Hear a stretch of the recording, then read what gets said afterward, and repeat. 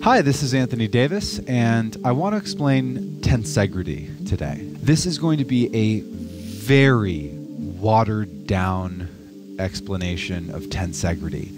The, the most I want you to get out of this video is generally a different way of looking at the body. If you've ever taken an anatomy class, or you even just have taken yoga classes or um, worked with a personal trainer, and they start talking about different landmarks on the body, the greater trochanter or your sacroiliac joint or this muscle and that muscle. When we do that, we think of the individual co- components to the exclusion of the whole system as it works together. So, in a very simple way, tensegrity is the tension and elasticity of the fascia and it's what holds the entire structure together. My friend here, if he didn't have literally a rod up his ass, screws and nuts and bolts to hold his knees together, he would just be a pile of bones. It wouldn't be able to stand upright. It's this elastic and fluid system of muscles and bones that allow the tension to stay upright. And what you'll see is that nothing is connected directly, none of the rods or bones in this model are connected directly to another rod or bone. What's happening in this model is that if I apply some kind of force to any one part of the body, there's force that's going to be distributed through the rest of the system. So if I move one piece, literally the entire rest of the structure is affected by this movement. So these elastic bands that are holding it in place, these are the fascia, the muscles, ligaments, and, and tendons, etc., that hold the body in place.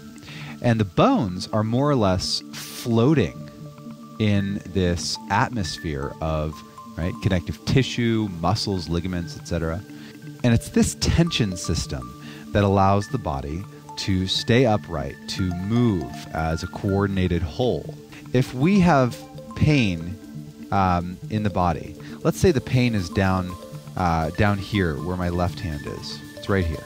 Okay, this is where the pain is. Well, notice that if I apply force at the top here, all of that compression translates down into this area where the pain is. So pain could very easily be traced up this chain, or um, Tom Myers calls it an anatomy train um, of, of fascia. So the fascia would be this like, well, I can trace from here to here and then there and then there and then there and up here we are along the train down here to the pain. So this movement up here can compress and create pain down here. Everything is connected. It doesn't make sense all of the time to analyze one muscle and one uh, bone and one movement at a time. If we were to imagine your uh, biceps, the way that we typically look at a muscle is if we had this guy here and we connected um, a muscle here to his forearm and then up here to his humerus, and those two points get closer together, it's going to lift his arm.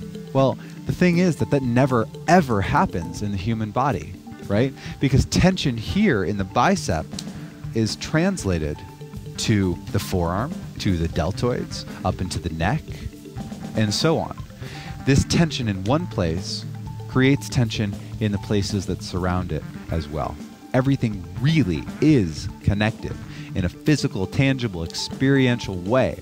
We can see it in the lab, we can see it in the way we move, and we can feel it in our bodies. We're finding out new things about the body every day.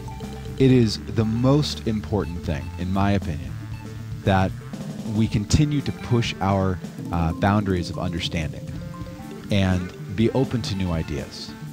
And this tensegrity model of the human body, this is the new model for biomechanics. And we're working out the kinks, and my knowledge is cursory at best. But if we can all begin to understand the body a little bit in this way, then the entire community can be elevated as a whole. So that's it. I just want you to understand that the entire body is connected. The system is a unified whole.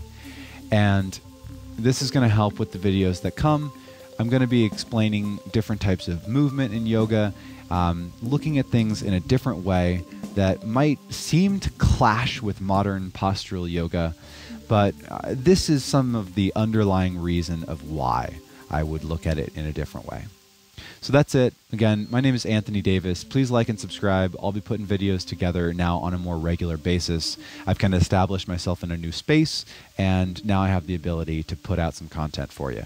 So I'd love to hear um, any questions that you have or requests for videos that you'd like to see.